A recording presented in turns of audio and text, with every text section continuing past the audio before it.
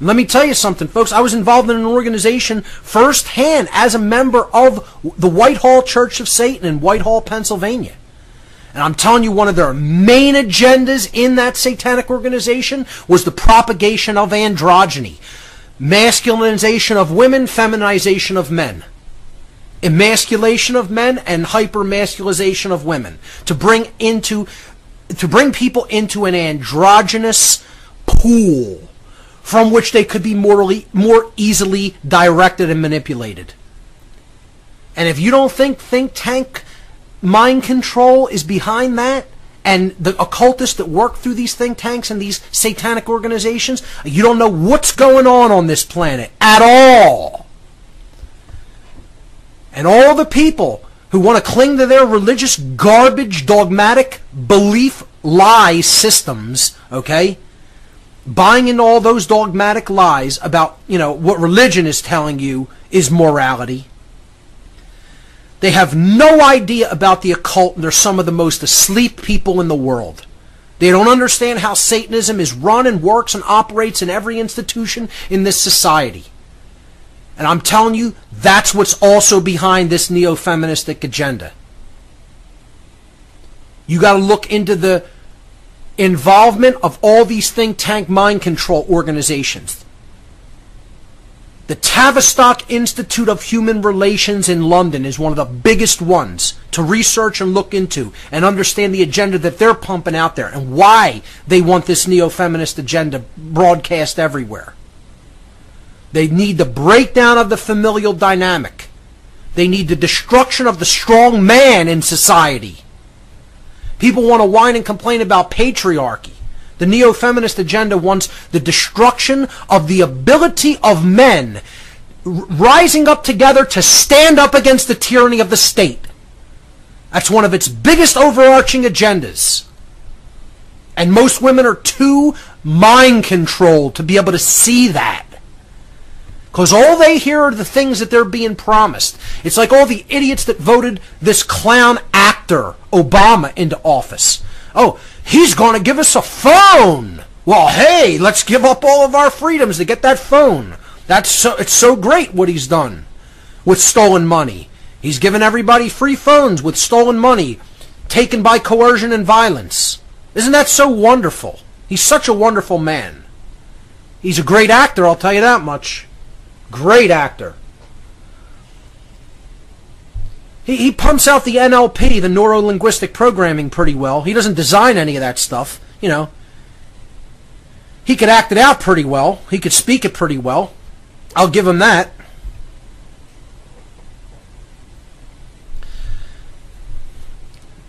Let's look at the dynamic of how many women truth speakers are out there. And folks, look, I am not on the attack. I am not trying to set.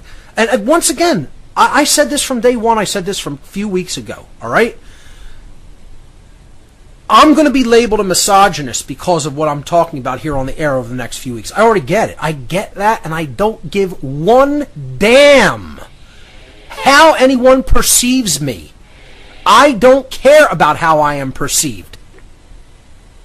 In the last segment, I was, you know, talking about some of the think tanks that have been involved in the propagation of the neo feminist agenda for purposes really of eugenics when it all comes down to it. This is what this is really leading to. And you know, I mean, if we're going to look at like birth rates that that are dropping in just about every you know civilized country on earth, you know, we'll look at socio-sexual dynamics going on in both Western countries and the Far East. This is all coming up on future episodes. I mean, you have to understand how prevalent these think tanks' influence is throughout the world. People who haven't studied the Tavistock Institute of Human Relations and its mind control techniques don't even know what's going on at all. And most people have never heard of it. Chatham House and Wellington House out of England, you know, their connection with the British Crown and the Royal Institute for International Affairs, which is directly underneath the Crown you know, that most people will have never heard of these organizations. You know, you look at the social engineers who were directly tied in with those groups, like Edward Bernays and Horace Mann and John Rees, you know, and Walter Lippmann and the Huxley brothers, Julian Huxley, Aldous Huxley, Carroll Quigley. You know, and what about the behaviorists that worked with all of these people? John B. Watson, B.F. Skinner, Ivan Pavlov. Uh, how about a huge behaviorist in the field of mind control through indoctrination, Wilhelm Wundt? You know, look up look up Wundt's work when it come to when it came to bringing in the Prussian model into the United States, the outcome-based edu education system into the U.S. His connection with dark occult orders like the Order of Death, Skull and Bones.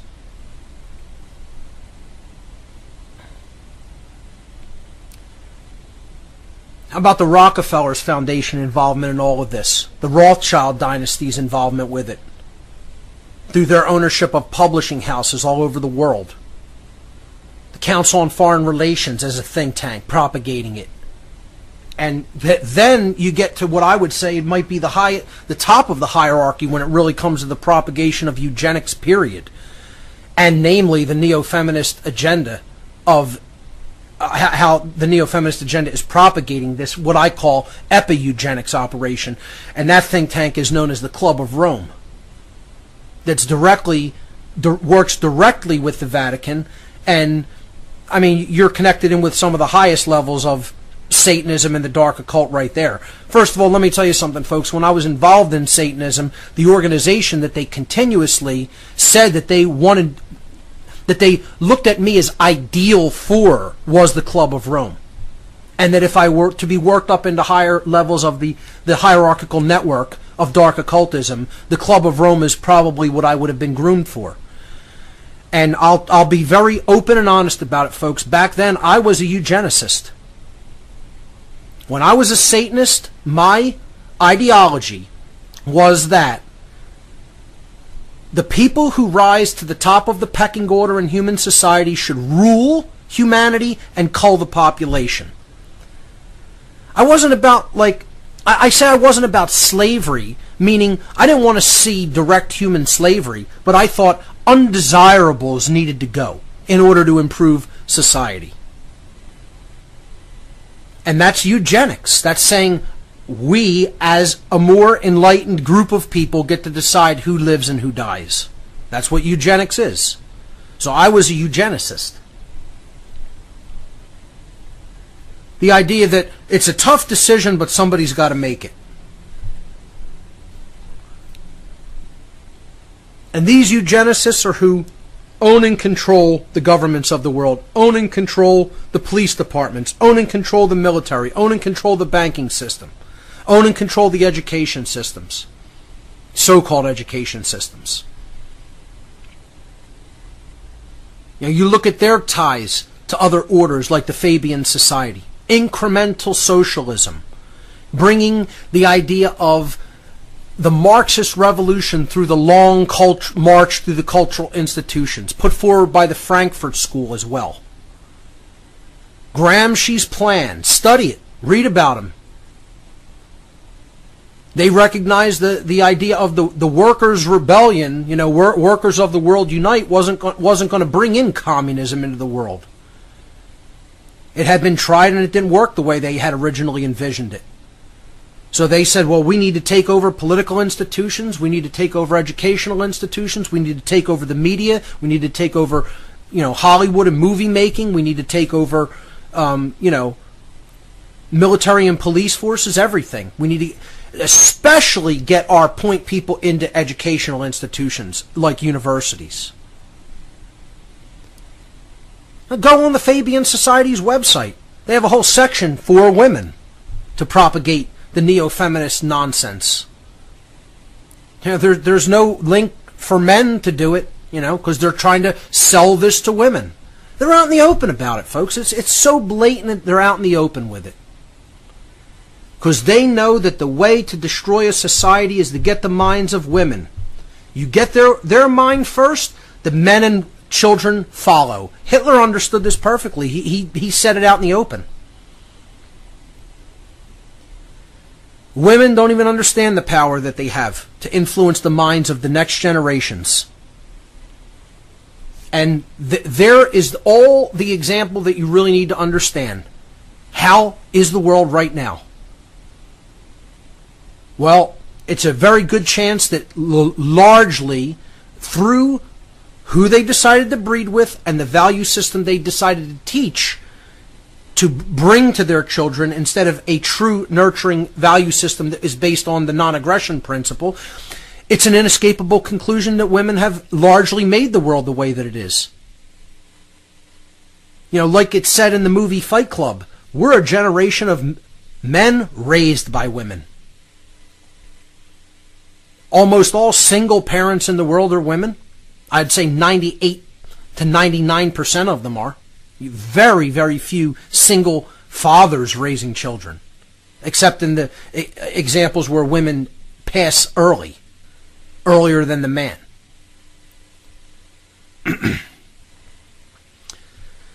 These think tanks' influence cannot be overstated, and most people know nothing about any of them. How many people have studied the Club of, Club of Rome, or the Fabian Society, or the Tavistock Institute of Human Relations, or social engineering in general, or behaviorism in general?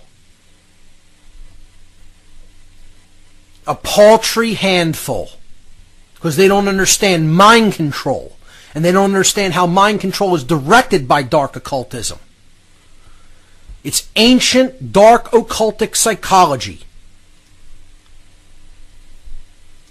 And most people just want their comfort level. And they want to say, I don't want to know about that. I want to look the other way. Because they're stuck in a satanic mindset, folks. That's where this ultimately comes from. It, co- it grows directly out of Satanism. The satanic me, me, me mindset. The mentality of, what am I going to do for me today? All day, every day. I'm not going to look at any wider dynamics going on in the world. I don't care about any of that. Me, me, me, all day, every day you know, I, I often ask the question where are the numbers of women coming forward and speaking out against the immoral system? Uh, there, there are several.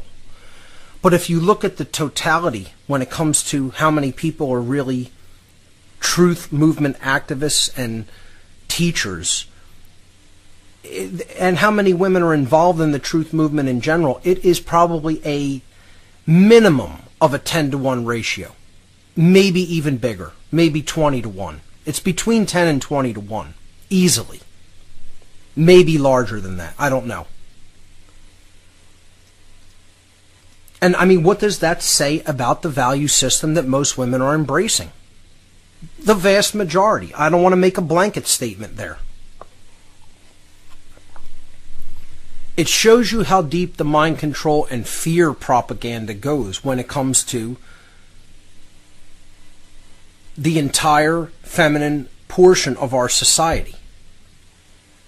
Clearly, they are being targeted to love the state, to insist upon the state's protection, to think that the state is necessary. And this all comes about as a result of getting the children away from the family. This is th- this is what even classical feminism did very effectively. they didn't want women in the workforce decades ago to put them on equal playing ground with men. They wanted that so that there would be no one at home in a family dynamic so that the family would be forced to turn the children over to state run education and there would be no nurturing influence in the home to teach values to the child. The state would teach its values to the child.